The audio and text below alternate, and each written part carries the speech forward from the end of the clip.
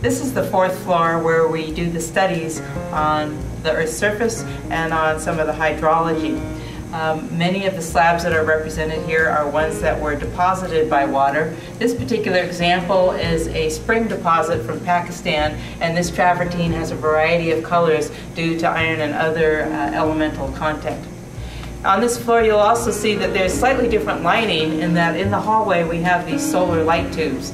The solar light tubes were a project that were also presented and proposed by the students in a sustainability class, and we were pleased to be able to implement these as one of our points for attaining LEED certification or being eco-friendly. The solar light tubes actually bring light down into this area. We have to have these up on the fourth floor where they connect up to the roof.